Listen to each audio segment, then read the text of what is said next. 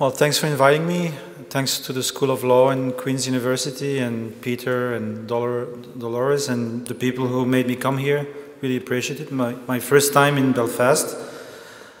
Um, and I, I, like it. I don't say that to, uh, to start on a good foot with you. It's a really nice city. I'm really surprised. Uh, maybe I shouldn't have been. But, you know, with all the background that we have, when I was young, Belfast wasn't spoken in a, in a nice way. okay, so um, I'm going to start with some examples because examples are much more telling than a, you know, kind of a theoretical treatise. And I give you three examples to show you that something is changing. Uh, the first example is something I discovered in Rio de Janeiro in, in Brazil, and it's called Curto Café. Curto is, you know, like the name for strong coffee, right? So about 15 years ago, there was an executive of a classic um, coffee company who became very distraught about how things were going. First of all, you couldn't drink good coffee. They had four categories, A, B, C, D. A and B goes to Europe and the United States and they stuck with C and D. So they make the best coffee in the world, but they can't drink it. Second thing is that the people who produce the coffee are very, very, very poor. And as soon as there are crises in the coffee price, they're under the poverty limit, they're, they're hungry. Um, so clearly something is not working uh, well. So, you know, there would be a period where you would say, you know, let's have a, let's have a fair trade company or something, but something different happened here. Let me explain to you how this works. So his first decision was that um, certification is too expensive. If you work with really poor producers, you know, the investment that you need to go to certification, even fair trade certification, is really very expensive and beyond their ability. So you replace it with transparency, open supply chain, and open book accounting. So if you want to know, you know, what coffee you're drinking, you just go online and you can see where the coffee comes from, how much they paid for it, even the names of the persons who actually, uh, you know, uh, took the coffee from the tree. Second thing is they created a commons for recipes. So they had four blends when I was there, and uh, basically these blends are brands, no blends, sorry. These blends are not privatized. They're not like secret recipes that only the company knows. They're online, and everybody can, you know, take that information, buy those particular kinds of coffee, try out different blends, and then put it online as well. So there is a, a knowledge sharing going on in this whole community um, that makes that coffee. The third thing is maybe even more original. They had no money. So what do you do? Well, what they did was crowd-funded retail expansion. So basically they use Facebook and they ask their community, do you want to drink good coffee in your neighborhood? Yes. Well, if yes, send us 50 euro, and if we have 30,000 euro, we can rent this place for the next three years. The people who contribute to this fundraising get to drink free coffee for the next three years. The others will pay for it. Fourth thing they did is a bit illegal, but very interesting. They took the existing coffee machines and they hacked them so that they can change themselves these little, you know, very expensive uh, coffee uh, things, and you can replace them with their coffee. I'm sure you're starting to realize that this is very, very different from how we've seen, you know, coffee making until now, right? This is really something original that just doesn't fit the current models. Is it a company? No. Is it a community? Yes, in some ways. But it's really a hybrid, and it's not about making money with coffee. It's about making good coffee without exploiting people and creating a livelihood around this purpose. That's what they're doing. And using all the new affordances of technology to reorganize everything from the ground up. You know, follow kind of a network logic of transparency, connection, community in a way that hadn't been done before. Let me give you a second example. This is in France. It's called L'Atelier Paysan, the farmer's workshop. And it's just one example. There's Farm Hack in the United States, the Slow Tools Project, Open Source Ecology. There's, there's more like that. So what are they doing? Well, today if you're a farmer, uh, this is true in the US, and you buy a tractor, you can't repair your tractor because it's actually a software contract. It says, you know, this is our intellectual property and you are not allowed to touch and change it. So farmers are being disempowered to repair their own machines. They're making dependent uh, on these companies that make these uh, machines, which are of course hugely expensive for the same reason, because they have a monopoly on that intellectual property. Uh, moreover, I think these agribusiness companies are not very interested in making machines for ecological farmers. So what are they doing? Well, every other week in France, there's a workshop somewhere. So assume you're a farmer and you need a machine and it costs 15,000 euros to buy it. I should say pounds here, right? Um, and you can't afford it. What do you do? Well, what they do is you pay 1,000 euro for the workshop. With your colleagues, you're making that machine. At the end of the week, you have your machine for 1,000 euro. All the designs are put online. All the films of the making of the machine are put online. So that the next workshop doesn't start from zero, but starts from that accumulated knowledge that has been uh, learned by the first workshop. Um, these people today have thousands of machines. I am not sure about Atelier Paysan, but for example, if you look at FarmHack, you will see that thousands of designs. One I'm a bit proud of because I'm Belgian. Um, it's horizontal, a horizontal bike. So you lay down, face down, you push it with your feet, and you put plant the seeds in a very comfortable position without having to break your back. No company would even design that. So I'm just saying this to show you that when you design in a community, you design already very differently than if you design as a company, right? Okay, last example. Enspiral. This is a New Zealand coalition of ethical entrepreneurs. Their tagline is We want to do stuff that matters. Stuff that has meaning and that makes the world a better place, that solves social problems. So what they do is basically they created some kind of guild. It's the best way to call it, a neo-medieval guild. First of all, they're a community. They're helping each other out. Every entrepreneur has difficult times, not just financially, but morally. So they help each other out. They, if you go to a downturn, the whole community is there to make sure you, get, you go through it.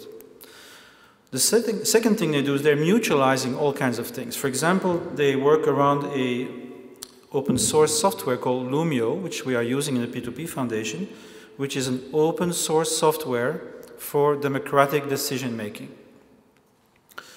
And so they're working on this together. Everybody is funding and working on this software together. That's kind of the core that organizes them. They organize around this software commons. Then they have something called Cobudget, which is a software to reinvest surpluses into the community. So basically, every entrepreneur gives 5% of his income or something like that to this Cobudget function. It's your money, you keep it. But the engagement is to reinvest it in projects of your uh, entrepreneurial coalition.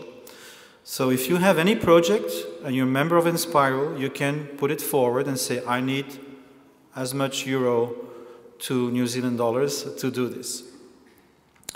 Um, again, is that a company? Not really. It's something different, right? All these things that I mentioned to you are not classical companies using labor and creating commodities. They're quite something different. And so something is happening. Now, this something, we can give it different names, but the name that some people uh, use and which I use is commons based peer production. And I consider this a post capitalist way of producing and distributing value. Why? Well, normally you think of labor as a commodity. I need to sell my labor in order to survive and buy food and shelter. And my work is organized by a company which pays me and then sell my products that we make together, sells it to the market and gets a surplus. Here we have something different. We have open systems that are based on free contributions. Not free as in free beer, but free as in I want to do this, as in free choice, right? So basically, the core of this new way of thinking about value is to create a community of contributors. So you create an open system like Wikipedia, like Linux, the operating system free software, like Arduino, open hardware, like the Wikispeed open source car, like the Ardusat, the open source satellite. So you create a commons and you have a community of contributors, paid or unpaid, who are collectively creating value. So paid, why paid? Well, imagine you're a company and you can afford 50 researchers. And imagine you're competing with a coalition that has a joint commons, and they have 5,000 researchers. Who is going to be more competitive? Right? So, why is IBM joining the Linux Commons? Because by doing that, they save 90% of their internal investment. They mutualize the development of this software, and by paying 2,000 people, they have access to the work of 20,000 people. So even from a purely for-profit basis, this is really interesting, right? So what we get here is the second step. You have a community of contributors, and you have an entrepreneurial coalition. Entrepreneurs who co-create the commons with that community. And of course, they may be the same people. Why unpaid? Well, if you have a closed system like Microsoft, you don't have access to the code, so if you have a problem, there's nothing you can do about it. If you have an open system like Linux, and you need something more that's not there, you can do it yourself. So 25% of the people in Linux are not paid, but not because they're exploited, because it's an open system that they, they want to participate in order to solve their issues. Um, there's also a third aspect to this, which uh, what we see is that they create foundations. And they're called FLOSS foundations, Free Libre Open Source Software Foundations. And they're very different from what we know as NGOs. So let me try to explain this uh, by using a polarity of scarcity versus abundance. What does a classic NGO do and how do they think? Well, they think there's a problem. And they think they need resources to solve that problem. So they compete for resources from grants and subsidies and fundraising, and then they direct the resources to the problem. Makes a lot of sense, but if you think about what you know what it is, it's actually a way of thinking in terms of scarcity. Now think about what the Wikimedia Foundation does, or the Linux Foundation, or the Arduino Foundation. That's not at all the way they think. Here's how they think. There is a problem, and there's enough people in the world who want to solve that problem. So we're going to create a cooperative platform, a collaborative platform that allows people to contribute to solving this issue. And they maintain that infrastructure, they protect it, they fund it. But they do not direct the labor, right? They just empower and enable this contributory system to emerge around this issue. Now, you, you may be thinking, you know, these are all like weird things that don't matter really that much in our mainstream society, but let me give you an example. There is a study called the Fair Use Economy Report. It's already from 2011, there were two of them, that calculates that the economic value created by shared resources is one sixth of GDP in the United States and involves 17 million workers. Why would that be? I'll give you an example about geogra geography. In Europe, we think the following the state invests in creating this geographical information. Therefore, we should have regained that money back. So we're going to auction two or three licenses in each country. And guess what? It's a very small economy, with two or three companies dominating each national market, hiring a few hundred people, and that's it. Now look to the US, this very arch capitalistic country. What do they do? Well, very weirdly, they, they liberated their geographical information. They said this geographical information is a commons. It's available to all citizens, all entrepreneurs, all public officials to use and reuse and improve. So in the US, not only uh, paradoxically, the market is much bigger than in Europe. I, read somewhere 400,000 people make a living through geolocation applications and associated services. Um, so a commons, even though it decommodifies, so it's not a commodity in its core, it's not a capitalist logic of labor creating communities, but contributors creating commons, actually creates, can create a vibrant economy around it because there's all kinds of added value that are needed to make it work. So you have software, and the software is free because people can just download it, so they won't pay for it. But you need training, you need certification, you need legal service, you need maintenance, you need installation. There's so many things that you actually need to do to make it work. And those things are scarce, so they are market uh, activities. Um, so this is the structure of this new, you know, economy of the commons. This is only part of it, because of course, so when I talk about peer-to-peer, -peer, this is what I mean. So an open system in which people can freely contribute as peers, connect with each other, self-organize around common value creation, the creation of commons. Of course, you all know another form of peer-to-peer, -peer, which is peer-to-peer -peer exchange systems. Think about Airbnb, think about Uber, right? What, what do they do? They enable individuals to connect with each other and sell each other, you know, apartments or rides or whatever it is they do, right? So this is a bit different. Now, here we have, I think, an economic issue. And the question is the following What is the most appropriate economic form for these commons oriented uh, activities? And I'm a bit critical of, the tradi- of these uh, traditional uh, models. Think a bit about Facebook as an extreme example. What would be the value of Facebook if nobody was there? Zero.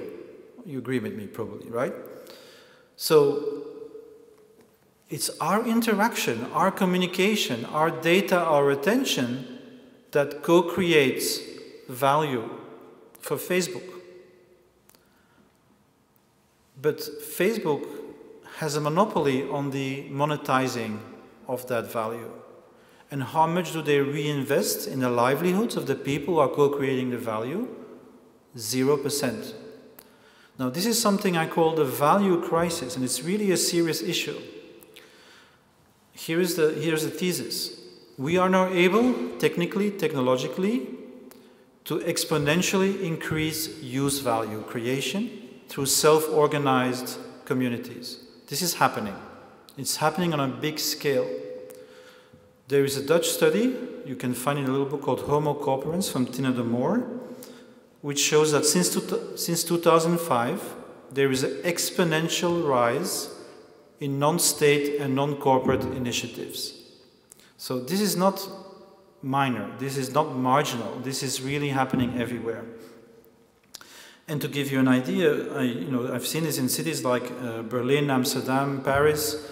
If you start mapping these things, you know, with these little arrows that appear on the map, you can't see the cities anymore. There's so many initiatives in every street, at all levels of society, where people are reorganizing aspects of their life in these, in these ways. Now, I lost my thread a little bit, uh, but okay, so I go back to the economic issue. So we have an exponential rise in the creation of use value, but only a linear rise in the monetization of that value creation. So the gap is getting bigger and bigger. And if you then monopolize the profits on this monetization without reinvesting it in the people who create the value, we are having a big issue here, right? So more and more people are precarious. And one of the reasons, I believe, is this more and more people are doing free labor. And they're not getting paid for that free labor. And think about the logic of these companies. What does Google produce? Nothing. We produce the documents and they let us search for it. What does YouTube produce? Nothing. We produce the videos and they let us watch it. What does Facebook produce? Nothing. I'm exaggerating a little bit. You know, they actually created platforms, but if you look at their numbers of staff, it's they're very small companies actually, right? What, what does Uber produce? Does it build cars? No. It connects us to each other when we already have cars. What does Airbnb produce? Does it produce housing and hospitality infrastructures? No. It allows us to connect to each other if we already have. So, do you see where I'm getting at?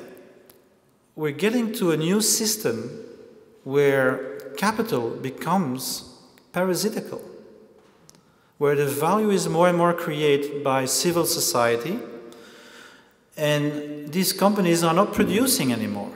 They're letting us produce and they're capturing value on the human based on our human cooperation. I think this is an issue.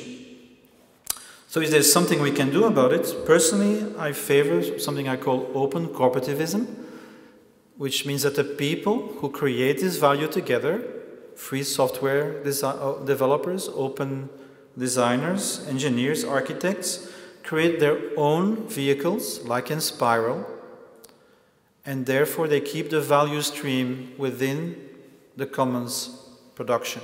And they can invest in their own livelihoods and reinvest in the growth of the community and its systems.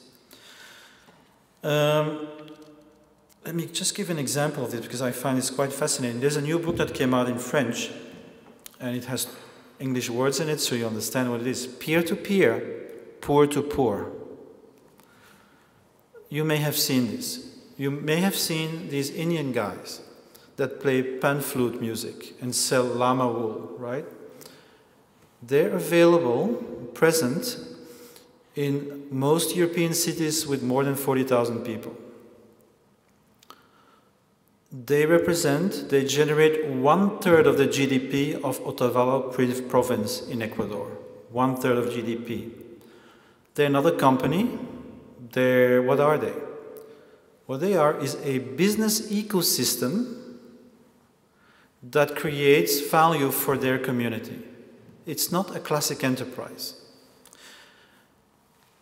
You also probably saw African people selling um, glasses and Prada bags and all the kinds of things on the beaches, maybe. I don't know if there are beaches here, but maybe you have them. Um, they are a Sufi brotherhood from Senegal. Again, it's not a company, it's, we, I call it a phyle, a business ecosystem that generates economic livelihoods around the community. And that's what Enspiral is. Enspiral is a phyle, a coalition of entrepreneurs creating value for their community. Right? So this is an interesting model, and in that book, it shows the scale of it because, for example, there's a whole underground economy of trans migrants, and these are people who come here but they don't stay here. They stay here for six months and they import electronics from China to the poor communities in Europe. It's a huge underground economy. And they use the internet to organize themselves to know what people need and to indicate where they will be at what time in which city. Okay, so the econ economic issue is how do we keep value within? And uh, we move from extractive forms of capital to generative forms of capital. Forms of capital that co-create value with the community and with the commons. Okay, now maybe we also have a political issue. If you think about what I just explained to you, which is the microeconomy of peer to peer, and think about it as a social system, as a political system. So here is our society today. We believe value is created in the private sector. Workers selling their labor, companies organizing the labor and the value creation, and paying the workers. Now, in a market relation, you do not look at externalities, right? You not, you, what I'm interested in is equivalent exchange. I want sell a product and get the value for that product.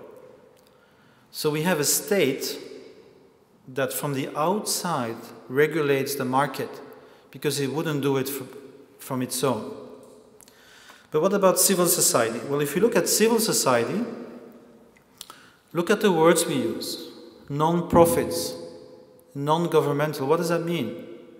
That means that we think the core of our society is either business or government. And civil society is what we do when we go home tired after work. That's really what we're saying and what actually we're doing. Now, look at this new system I'm describing and try to project that on a national scale, for example. Well, what I'm saying is that civil society today is productive. Citizens are self organizing and creating value around commons, around shared commons. So, this is the first thing. So, we, we, we move from a vision of a passive civil society that's marginal to the system to a vision of civil society that is productive, where actually the value is created through these contributions and interactions. The second thing I told you was the Ethical Entrepreneurial Coalition. Now, if a company wants to work with a community like that, it has to adapt. So what it means in a way is that you have to internalize the externalities, right? So externalities are the things that you normally don't look at. The system, the market system by itself doesn't care that it creates more poverty. Doesn't care that it's destroying the environment. But if you work with a community, you have to take into account the social norms of the community. So, what I'm saying is the following we transform an extractive market vision into a generative market vision, into forms of entrepreneurship that co create value with these communities, that invest in the commons to make it stronger, to grow it, and they don't enclose it. They don't only capture value, they reinvest value. But what about government? This may be the most interesting. Let me give you an example.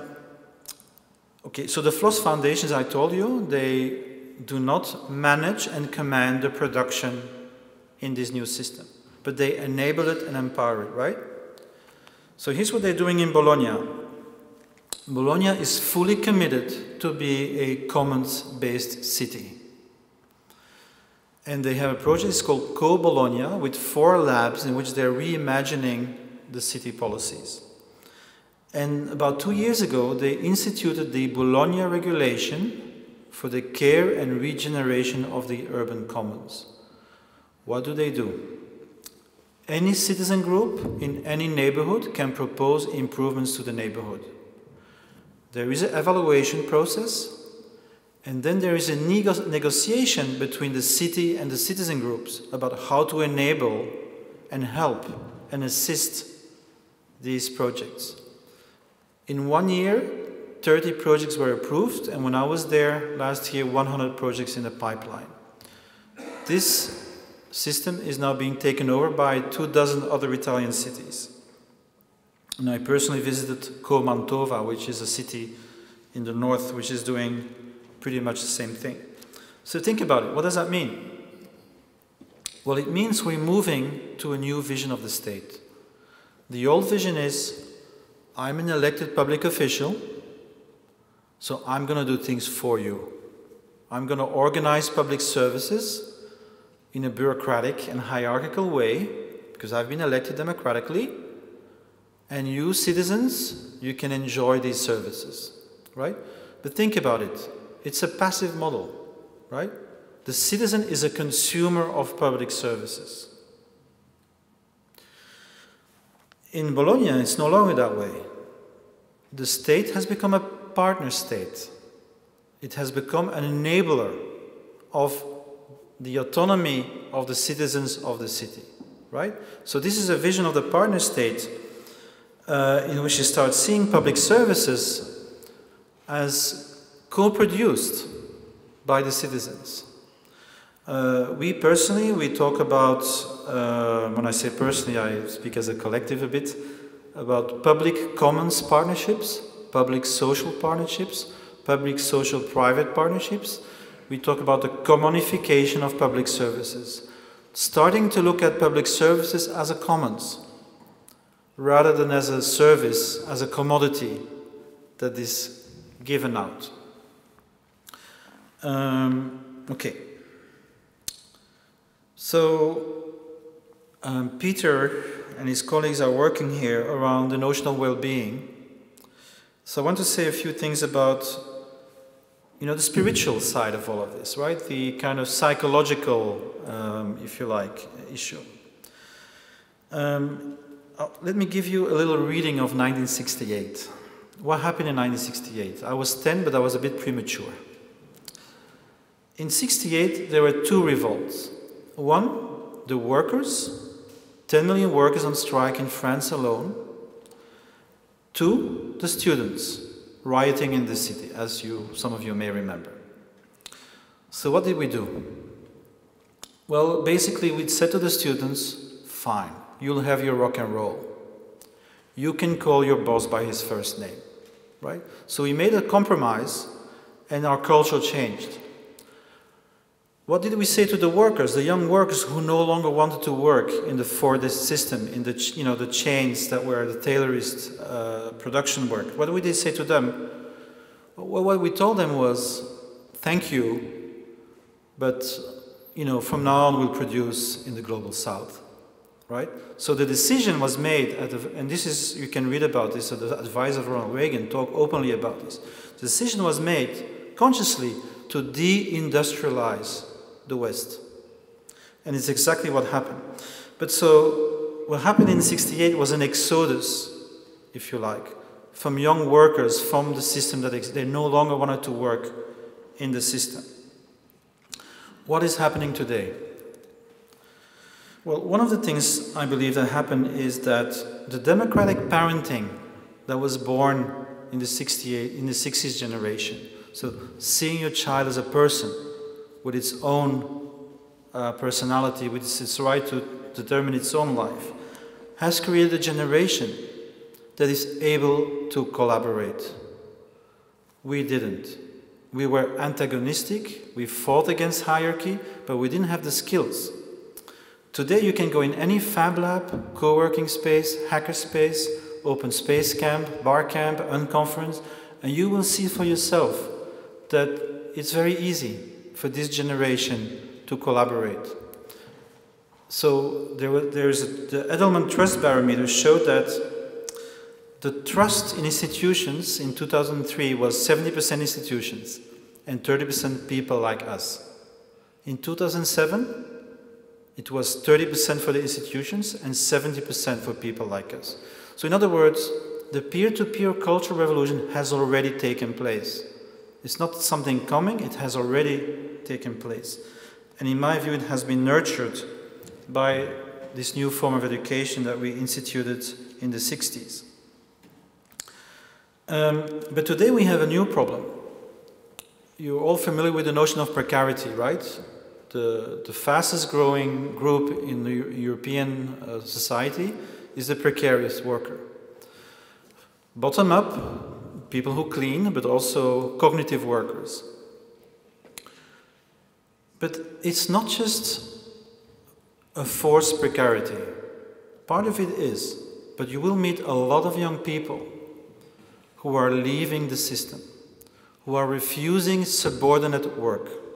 They want to be autonomous, and that's why they want to be social entrepreneurs. They want to do things that matter, like Enspiral. There was a, an interesting survey in Finland at Aalto University with, with um, design students. Here's what came out of it 95% of the students want to do something about sustainability. They don't trust the governments and they don't trust businesses to do this. And here's what happens when they find a job they want to design for sustainability and they have to design for planned obsolescence. So they cannot realize their dreams and aspirations within the system. It's impossible. So what do you do? Well, you become a social entrepreneur. You design for sustainability, and because you have no capital, you associate yourself with open design communities.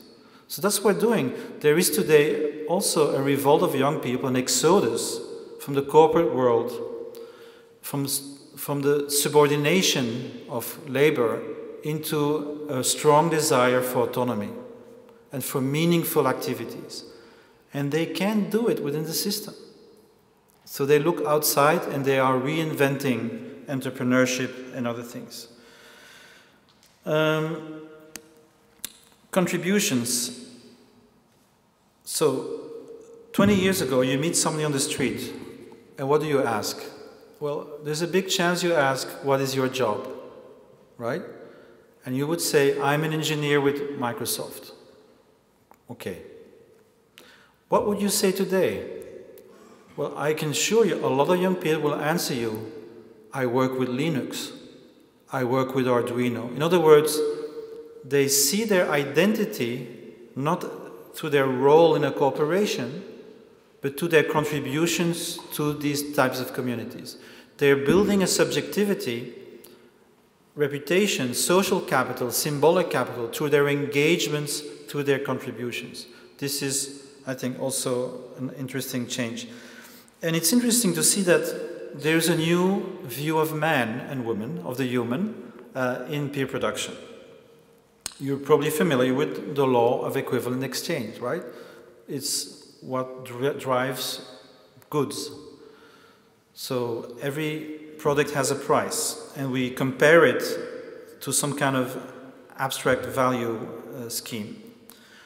But to be honest, we do that with people as well, right? If you have a PhD or a master's or whatever, we are comparing people according to an external um, criteria. In other words, we apply the law of equivalence to people just as much as we do with goods. Peer production changes that. We call it equipotentiality. What does it mean? It means that we don't judge and rank people as a person compared to another person. What we say is the following You are better than another person in this particular capacity, and another person is better than you in that other capacity. So let's build an open system that allows you to freely give your skills and energy and capacity to a common project. And we call this system Stigmergy, the language of the ants. So if you think about the Wikipedia and Linux, how it works, it's a signaling system. It's like playing soccer. You have a vision of the whole field and you can adapt your behavior by seeing everyone, right? And it, does, doesn't require you to be good persons. It's motivation agnostic. Let me explain that quickly. The problem with neoliberalism is that we only recognize one motivation private gain. And I'm not denying it's very important, it's there in many people. But we have other things, right? Maybe we love our family. Are, are you selling your services as a parent to your children? Probably not. You probably do volunteering. It's very strong here in Belfast. So you're giving freely to your community. Maybe you're patriotic. You're giving freely to your country. So we know that we have various amounts of motivations. And the thing is, in peer production, it doesn't matter what your motivation is because we design for a convergence between individual and collective.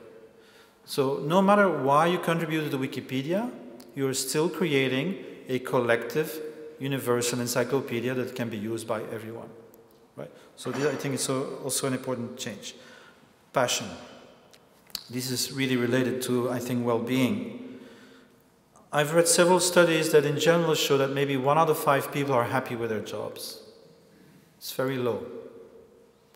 You know, I've been 30 years in a corporation, so I, it sounds actually optimistic. Uh, but okay, let's assume it's true. And you know, the test would be how many people would still do that work if you weren't paid? Right? How many people would work for Monsanto and British Petroleum if they were not paid? I don't know if I'm on thin ice here, but I would guess not so many, right?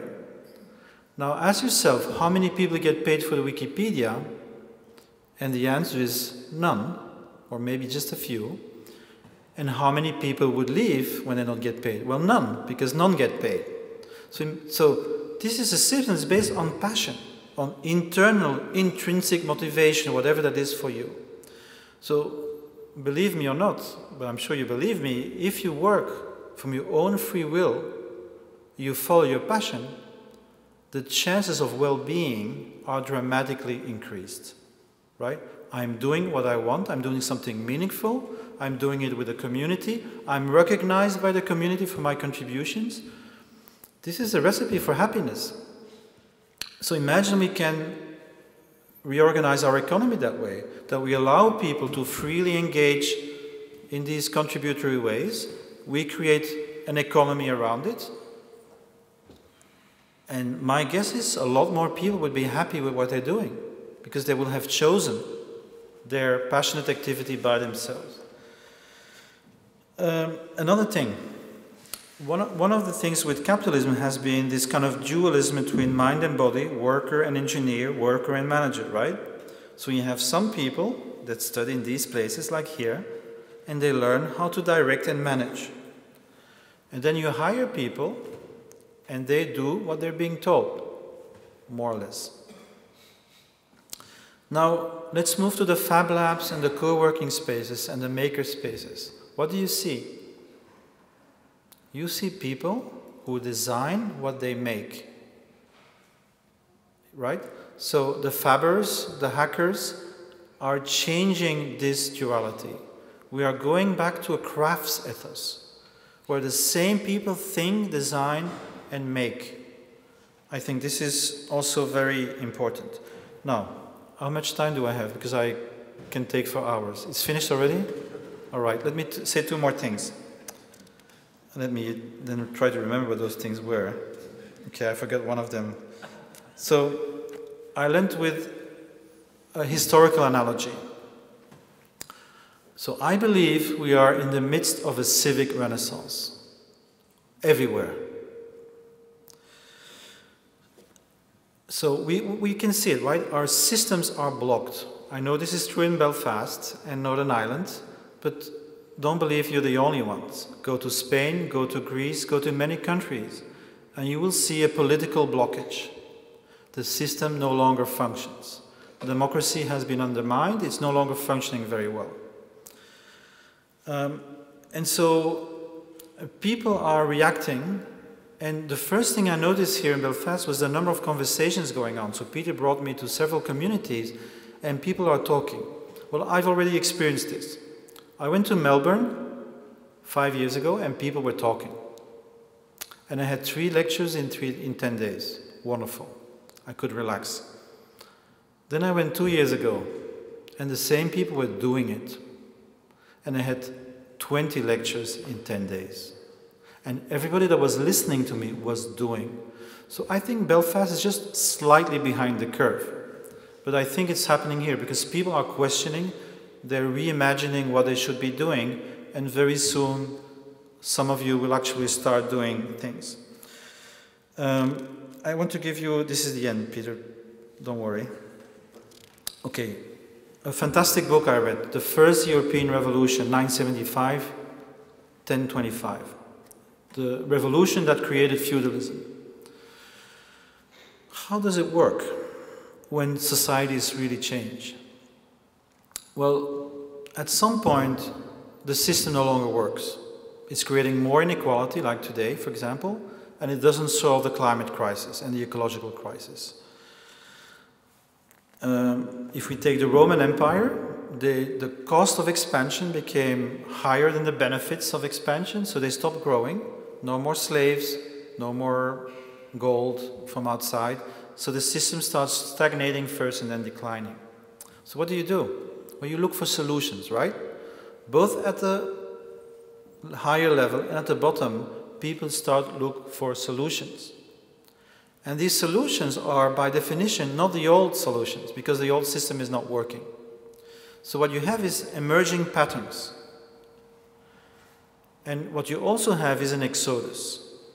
Slaves became serfs.